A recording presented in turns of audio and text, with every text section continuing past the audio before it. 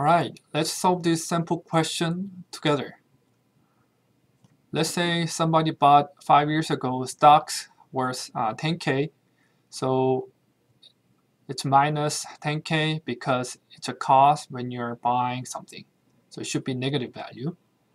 And say this particular stock was paying $600 per year in annual dividends.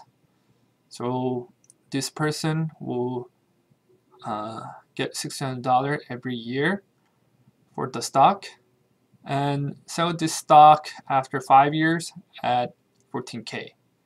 So based on those cash flows, what is internal rate of return? Or what is the rate of return that was genera generated by this investment?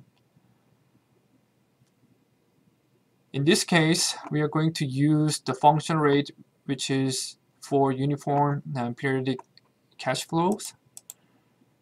And for this case, we are going to use this function for rate.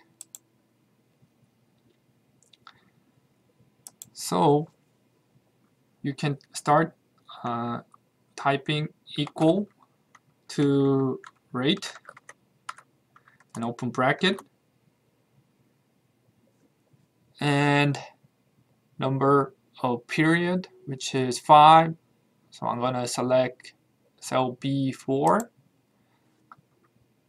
comma the payment which is the the $600 uh, which uh, for the annual uh, payments which is gonna be B2 comma the present value which is which we paid the uh, which is the initial uh, purchase just 10k select um, cell B1 comma and FV is the sale price of stocks at the end of uh, five years which is 14k so select B3 and then uh, I'm going to assume the different uh, varieties for type and guess are good enough. So I close the bracket here. Then we'll get the interest rate. So for this particular investment the rate of return generated was 12.26% per year